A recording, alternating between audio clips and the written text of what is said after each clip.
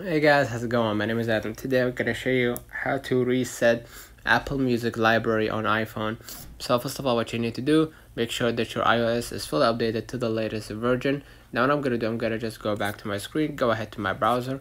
Basically, if you want to reset your uh, music library uh, on Apple Music, just go ahead into the general iPhone storage, music, edit, and then uh you know all songs and then delete or remove all songs and then try syncing again.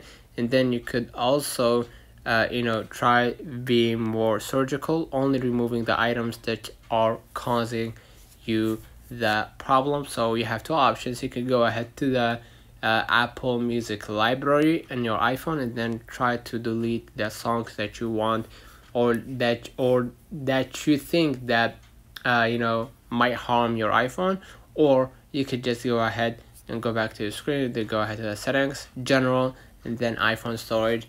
Basically what you're gonna do you're gonna just uh, you know go ahead and start looking for the basically right here let me just look for it which is Apple Music right? And after you find it right here let me search for it.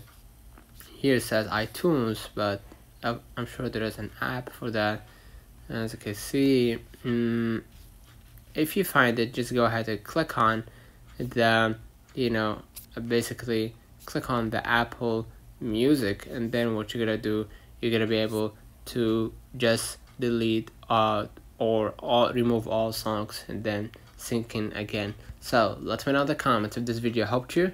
Don't forget to like and subscribe. Turn on the notification bell to receive every video we upload. Thank you for watching